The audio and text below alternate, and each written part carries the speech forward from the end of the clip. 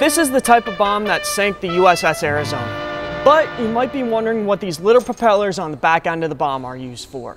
These bombs were designed out of a 16-inch naval artillery shell, and to make it into a bomb, they fashioned the shell into the shape for the body of it, added the pointed armor-piercing nose cone to the front end, the fins on the rear end for stability as they fell through the skies, and those propellers inside the fins are delayed time fuses allowing them to punch through the heavy decks of the battleships and blow them up from the inside out. So these propellers are part of the arming and fusing mechanism of the bomb. They would be dropped by the aircraft from about 10,000 feet up in the air, and that would start these propellers spinning, arming the bomb. And with the heavy impact on the ship and these propellers coming to a stop, that would ignite the fuse and explode the bomb on the inside of the ship. Visit us at Pearl Harbor Aviation Museum on historic Ford Island to learn more about the historic air raid and the aircraft involved in the attack and the stories of the men who flew them.